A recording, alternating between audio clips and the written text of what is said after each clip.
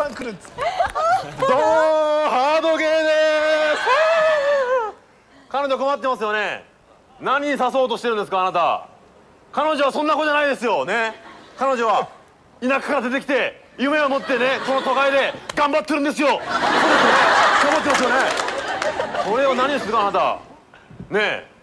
えええじゃなくて。ね彼女。彼女はねケーキ屋か花屋でバイトするのが一番似合ってるんですよ。ね。そんなねいかがわしいことに誘う私は許しませんよ。さあ帰ってくださ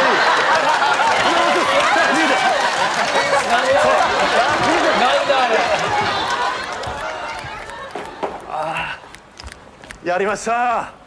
彼女は都会の砂漠で頑張ってますよ。そんな彼女に。ポー